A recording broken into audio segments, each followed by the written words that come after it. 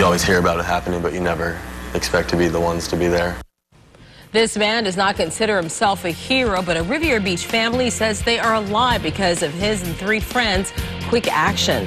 Good evening. I'm Tanya Rogers. And I'm John Shainman. Those men helped rescue a local family when their boat capsized. Eight people were thrown overboard Saturday, including a four-year-old and a six-month-old. News Channel 5's Dan Corcoran's live in Riviera Beach along the Intracoastal tonight with an interview you'll see only on 5. Dan? Well, John and Tanya, luckily the family that went overboard on the Intercoastal here yesterday was close to many other boaters. John Freen and his friends were the closest, so they were compelled to jump in and help. We, we might have definitely saved some lives. It is just now hitting 24-year-old Jason Freen that a local family considers him to be a hero. I'm happy that I was there to help. I'm not going to label myself as a hero. You know, I did, I did what I felt was right. Freen and three of his friends were boating on the Intracoastal Saturday when they saw the family of Gloria Melendez in trouble.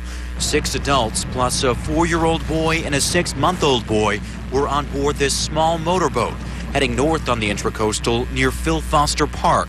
And that's when a wave overtook the boat, sending the front of the vessel plunging into the water and the family overboard. I grabbed my grandson and I'm like, oh my God, oh my God. And it flipped. The boat just went under. So Jason and his friends jumped in to help.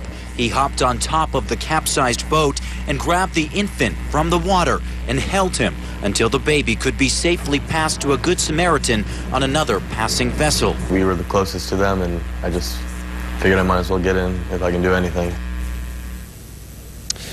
Now, because they were pulled out of the water so quickly, all eight of those people, including the two young boys, are expected to make a full recovery.